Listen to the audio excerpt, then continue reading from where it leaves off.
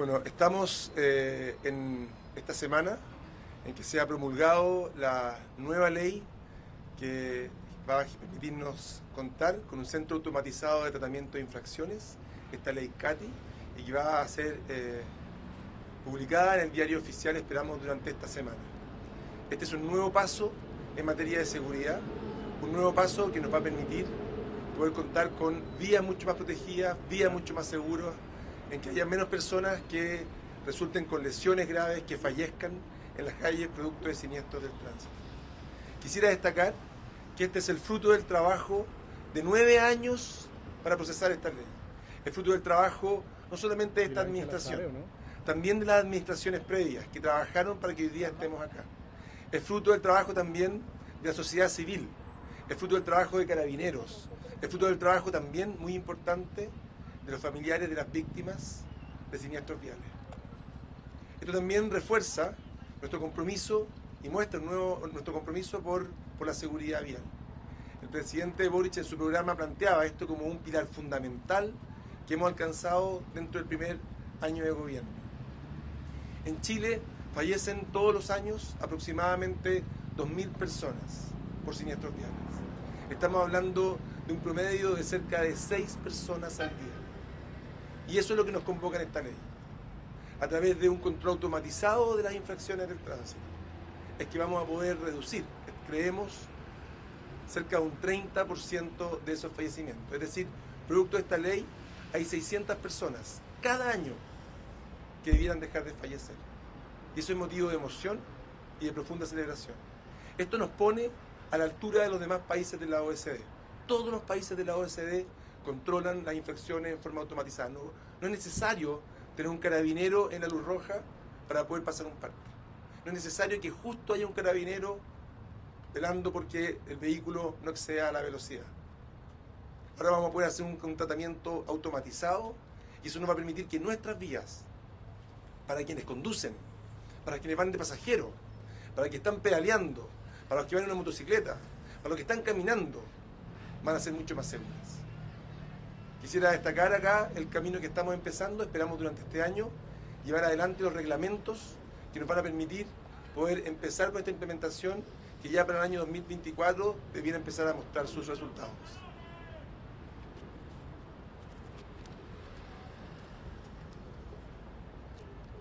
¿Cómo están? Muy buenos días, ¿se escucha bien? A todas y todos. Bueno, desde los municipios yo creo que siempre estamos muy felices cuando se aprueban leyes que tienen un impacto directo en la vida de las personas.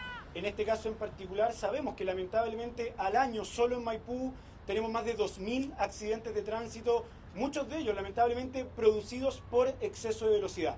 Y el comentario que siempre nos hacen las vecinas y los vecinos y lo que nos piden a los alcaldes es ¿por qué no van a fiscalizar esta esquina? ¿Por qué no van a fiscalizar a esta otra esquina? Y lamentablemente no tenemos ni la cantidad de carabineros ni la cantidad de funcionarios municipales dispuestos para fiscalizar cada una de las esquinas de Maipú o del resto de las comunas de la región metropolitana. Y es una muy buena noticia que hoy día podamos automatizar este ejercicio de fiscalización, lo que sin duda nos va a permitir, por un lado, disminuir los accidentes de tránsito y a su vez la cantidad de personas fallecidas a propósito de esto, pero también va a lograr liberar tanto carabineros como funcionarios de seguridad municipal que puedan desempeñar otras labores. Creo que es muy importante que la tecnología nos ayude a automatizar aquellos procesos de fiscalización que se pueden automatizar, como los excesos de velocidad en las distintas calles de nuestra comuna, y así poder disponer de más manos y más personas para una de las grandes tareas que tenemos hoy día como municipio y como Estado, que es poder garantizar la seguridad de nuestras vecinas y vecinos. Así que agradecer, por cierto, al ministro, al Parlamento, a los familiares de víctimas y a todos quienes hicieron posible esta ley, porque una vez que esté implementada en las calles sabemos que tanto Maipú como el resto de las comunas van a ser lugares más seguros para transitar. Muy buenos días. Bueno, como carabineros estamos aquí celebrando gratamente junto a las autoridades la promulgación de la ley CATI. Eh, la ley CATI es una tremenda herramienta, eh, una tremenda iniciativa. Como dato, eh, Carabineros el año 2022 solamente cursó más de 119.000 infracciones por accidente por exceder la velocidad de forma manual en todo el país. Gracias a la ley CATI vamos a poder fiscalizar ¿cierto? automatizadamente y aumentar estos controles de eh, velocidad no solamente en autopistas, carreteras, sino lo más importante en el interior de las ciudades, las zonas urbanas, donde recordemos que es la máxima 50 kilómetros por hora. También recordar que la velocidad es la principal causa de los fallecidos en siniestros viales.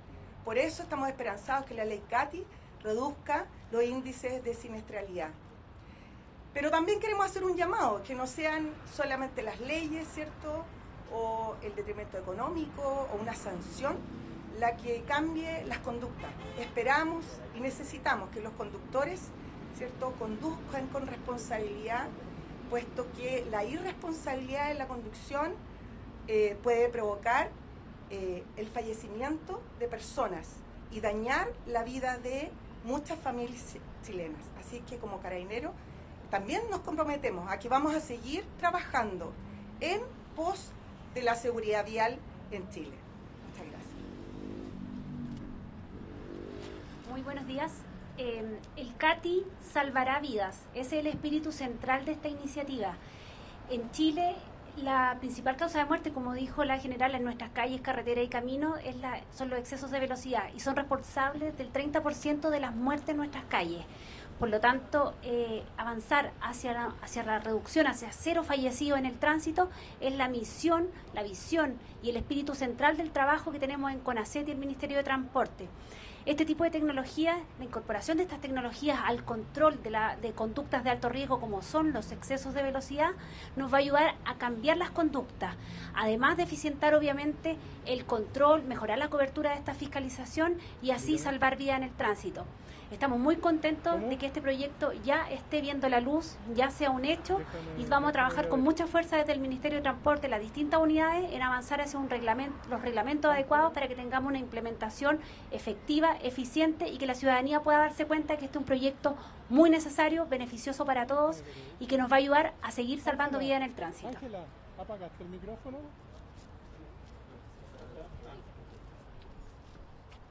Eh, buenas tardes. A fines del 2013, el Ministerio de Transporte envía al Congreso el proyecto de ley CATI. Participamos en un video que se llama Testimonios, Tolerancia Cero al Exceso de Velocidad, donde están los padres de la bebé Emilia, la madre de la niña Rayún, los padres de Arturo, que fue el primer ciclista con alas, y nosotros los papás de Soraya que ya falleció hace 10 años a causa de un conductor en Coquimbo que excedió, triplicó la velocidad. Y, en carne propia les quiere decir que perder un integrante de esta manera no se lo doy a nadie. Muere la familia, cambia todo.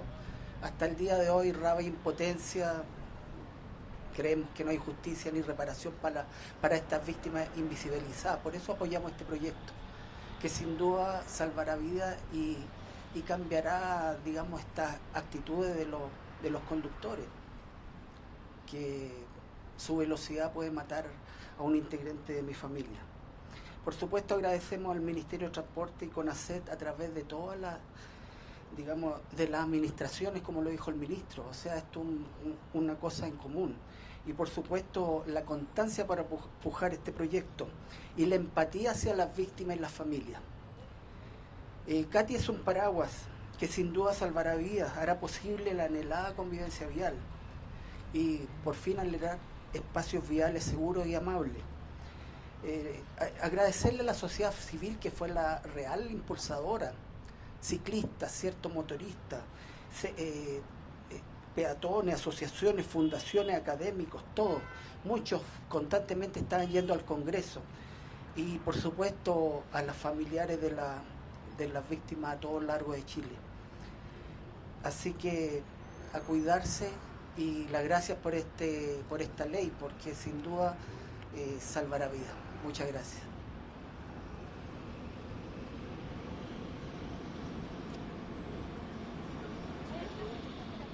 Sí, por acá se escucha bien. No sé si puede ser el ministro, pero queríamos preguntar en términos prácticos cómo va a funcionar este sistema de control automatizado para entender un poco cómo va a ir detectando ciertas irregularidades en el tránsito y eso finalmente cómo va a ser después informado al conductor en este caso que está infringiendo alguna norma de tránsito. Eh, Bueno, eh, lo que se hace con este sistema es hacer mucho más eficiente el proceso de la infracción.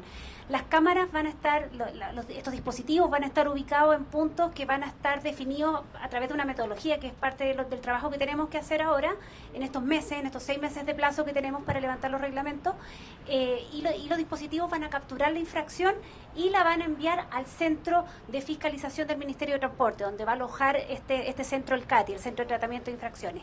Ahí se va a cotejar esa información que captura del vehículo la velocidad infringida con el Registro Nacional de Vehículos Motorizados del Registro Civil y se va a enviar el parte eh, padronado directo al, al propietario del vehículo. Y ahí, bueno, corren los distintos plazos que contempla la ley, si se paga anticipadamente hay una cierta rebaja, después posteriormente si es que tiene quiere impugnar esa infracción va a tener ciertas posibilidades, la ley contempla el, el de, resguarda el debido proceso, así es que considera esa, esa salida, pero es todo automático, en un plazo de no, no mayor de 15 días debería estar la infracción ya entregada al conductor al, dueño del vehículo, perdón. Hola, hola. Quería preguntar también por ese punto eh, de la infracción. Eh, ¿Se puede todavía eh, impugnar o trabajar cuando se paga ellos ciertos beneficios? También se hablaba en algún momento de endurecer esas sanciones a quienes incumplan con los, requerimientos o que excedan los límites de velocidad, porque lo dijeron todos, la velocidad es el gran causante de los accidentes de tránsito, es lo que mata a las personas también en las carreteras y también en las calles existe también esa posibilidad de ir endureciendo, de, que no exista ningún tipo de beneficio para alguien que incumple.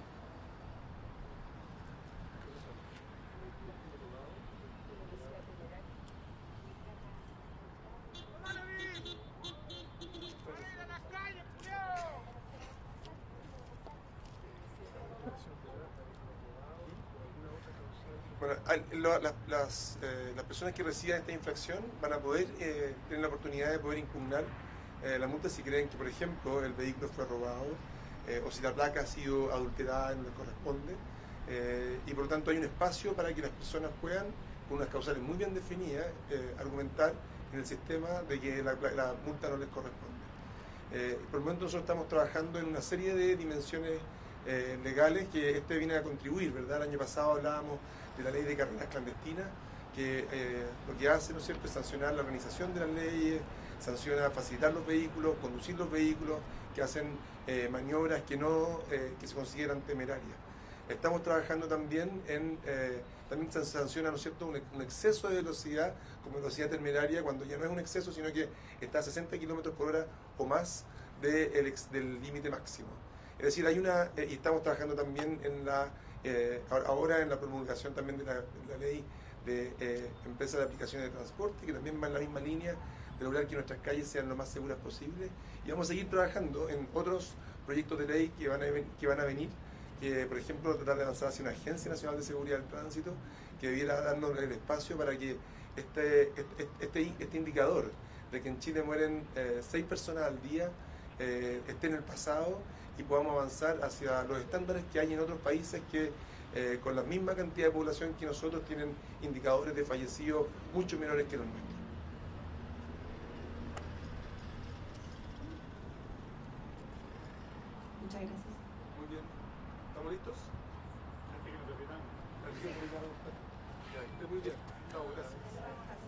Buenas, buenos días. Esto es eh, la, celebración de la promulgación de la ley CATI, que será publicada durante la semana en el diario oficial. El ministro de Transportes y Telecomunicaciones, Juan Carlos Muñoz, junto con el alcalde de Maipú, Tomás Bodanovich, la secretaria ejecutiva de CONACET, carabineros y representantes de víctimas de accidentes de, tránsito por exceso de velocidad celebran la promulgación de esta ley que permitirá crear el Centro Automatizado de Tratamiento de Infracciones de Tránsito.